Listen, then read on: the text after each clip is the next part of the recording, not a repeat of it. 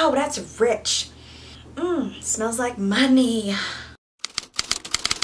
Darcei. Hello friends. Today we are back with another trying the darkest shade of a Korean foundation. Now I don't get to do these videos often because usually Koreans don't make makeup that's dark enough for me. Usually Korean makeup makes me look like this.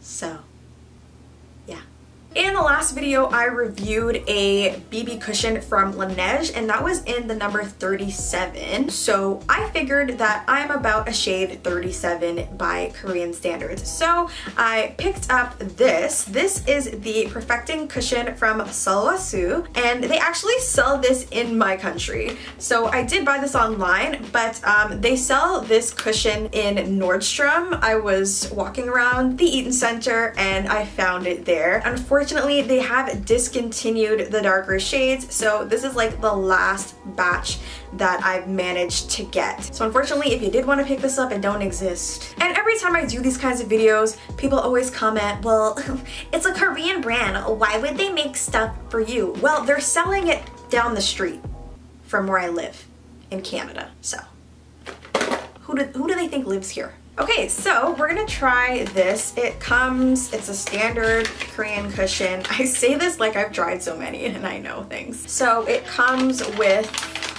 a refill and then the main cushion. This is an expensive brand, okay? This is high class. This up in Nordstrom's, honey. Look at the shine the gold accents. Wow. I'm getting tan. I hope I'm not too tan for this. Oh no. Anyways, it's got like this pretty little packaging. So fancy. Oh my god. I'm a, I'm a high class bitch. This color is called Amber Beige. Like it's number 37, but it's called Amber Beige. Let's see what it looks like on the inside. Ooh.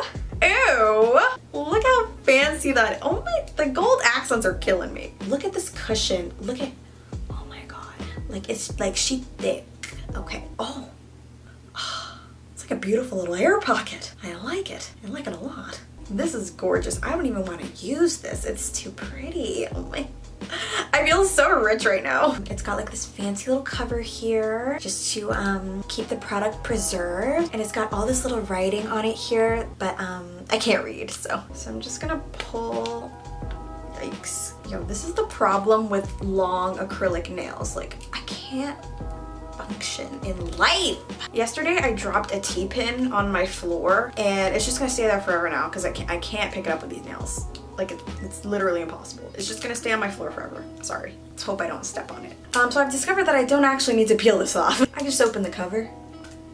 And then there's another thing. Look at all the all the gold. I love it. Uh, but I do need to peel this one off. So here we go again with the struggle. Ooh, look at this. Look at this rich color. Look at this rich. Oh my god. Oh my god. Oh, that's rich.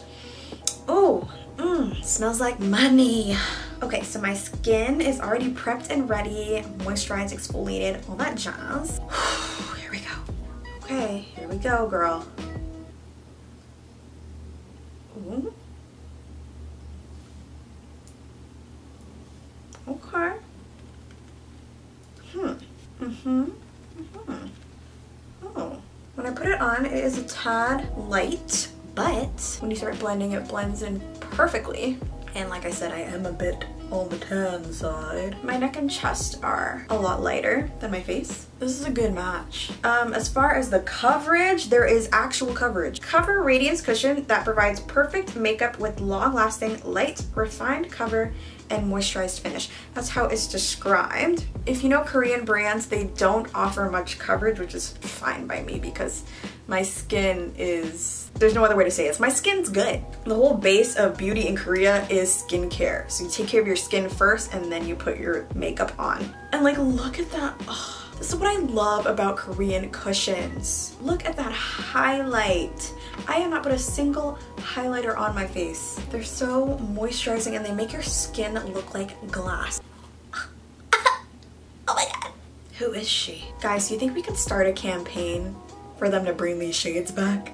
Please. So now that it's on, I'm gonna put the rest of my makeup on and really give you guys a full review and tell you what I think. Okay, so I am living, oh my god. I can't believe this is discontinued. Um, I, I hate my life. Literally, I'm gonna start a petition to bring this color back, please. Okay, enough of me goofing around. Let's talk about this foundation. So, um, the finish of it is very moisturizing and it's very luminizing as a lot of Korean products are. A lot of Korean products really like to focus on the moisture and the shine. They want to make you look dewy and glowy. If you are a lighter color, definitely go buy this foundation. If the lighter colors are anything like this, which they probably are, uh, pick this up, okay? If you live in the US and Canada, you can buy this at Nordstrom's or they also have it on yesstyle.com, which is where I purchased. So I believe the foundation is around 80 to $90 depending on where you live. I believe on YesStyle it's about $90 or so Canadian. But uh, when I bought this, I was a bronze member, so I got like a little bit percent off. And then um, I paid express shipping with the price of the products plus the express shipping. I paid over a $100 for this product, um, but usually it is around like I think like 85 or so dollars. Wait, can I go on Nordstrom's website? Does that work? Does they have a website? No. no. What? Hold up.